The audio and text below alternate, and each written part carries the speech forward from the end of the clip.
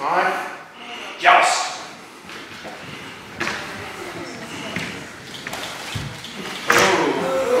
Almost betrayed by the socks again. Yes.